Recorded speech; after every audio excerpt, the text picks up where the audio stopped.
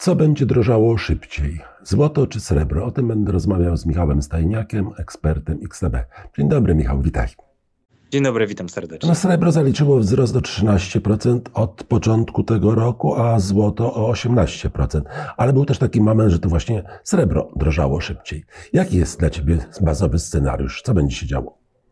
E, trzeba pamiętać o tym, że srebro jest no, zdecydowanie tańszym metalem. Mamy tą różnicę dosyć sporą, ponieważ w tym momencie za uncję srebra płacimy 27 mm, dolarów, natomiast za złoto no jest to w okolicach 2400 e, dolarów, więc oczywiście mm, to, że mamy e, w, w, ujęciu nominalnym tańsze srebro, no to to powoduje, że zazwyczaj E, ta zmienność jest zdecydowanie mocniejsza na srebrze, więc w momencie, kiedy mamy mm, trend wzrostowy, no to zazwyczaj srebro zyskuje mocniej niż złoto, natomiast w drugim przypadku, e, kiedy mamy trend spadkowy, no to E, srebro też traci mocniej niż złoto, więc oczywiście e, te proporcje się w ostatnim czasie trochę e, zmieniły, czyli w momencie, kiedy powstało dosyć dużo niepewności dotyczącej globalnej gospodarki, no to srebro straciło jednak zdecydowanie niż, mocniej niż złoto, ale też trzeba pamiętać o tym, że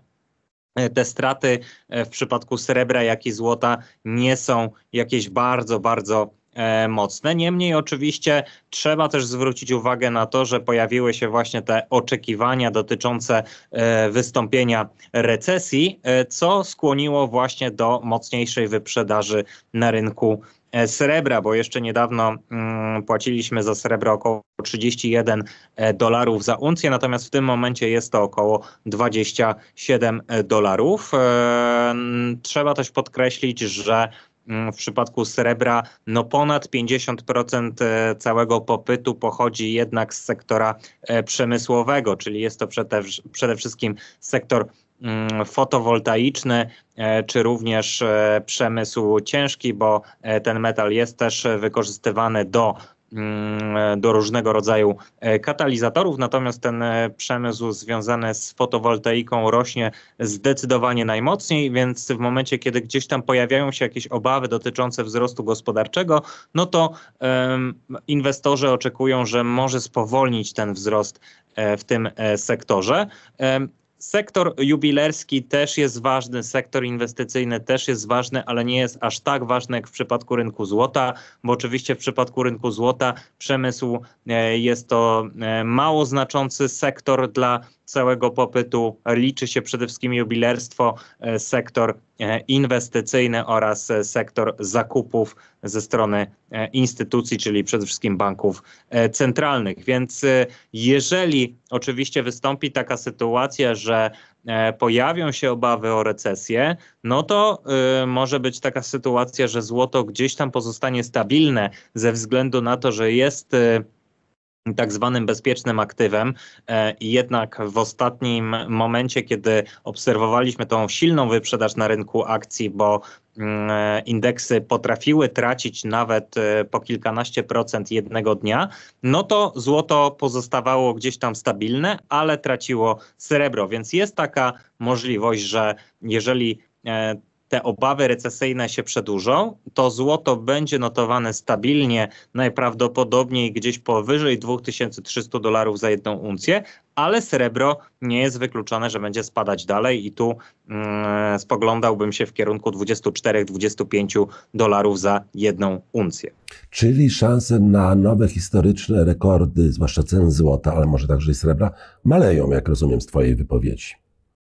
E, no, wszystko tak naprawdę rozbije się o to, jak będzie radzić sobie gospodarka, bo nawet jeżeli, jeżeli mamy e, problemy, a złoto, czy nawet również po części srebro jest traktowane jako bezpieczne aktywo, no to w momencie, kiedy e, inwestorzy potrzebują pieniędzy, no to sięgają po gotówkę.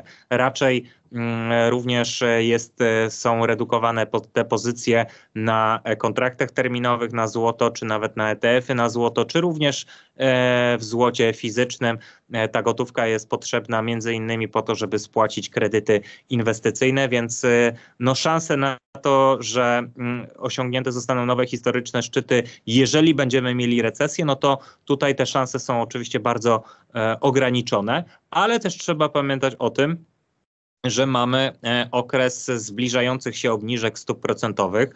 E, te oczekiwania na obniżki ze strony rezerwy federalnej bardzo mocno podskoczyły, e, ale właśnie w związku z obawami o recesję, bo w tym momencie wycenia się ponad cztery obniżki stóp procentowych ze strony rezerwy federalnej. To bardzo dużo i teoretycznie, jeżeli wystąpiłaby taka sytuacja, że recesji nie będzie, ale jednak obniżki nastąpią, w dosyć szybkim czasie, no to to może wspomóc e, złoto w, dalszych, e, w dalszym przyroście. I oczywiście, kiedy złoto będzie rosło przy stabilnej gospodarce, no to to również może wpłynąć na mm, wyższe ceny srebra. Więc w takim moim scenariuszu raczej powinniśmy powrócić do wzrostu.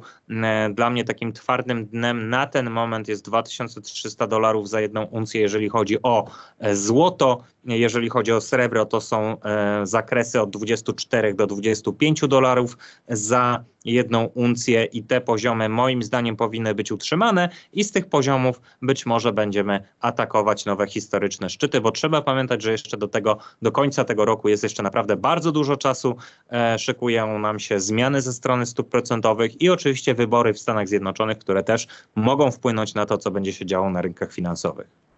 O cenach srebra i złota rozmawiałem z Michałem Stajniakiem, ekspertem XTB. Dzięki Michał za rozmowę. Do usłyszenia, do zobaczenia. Dziękuję również.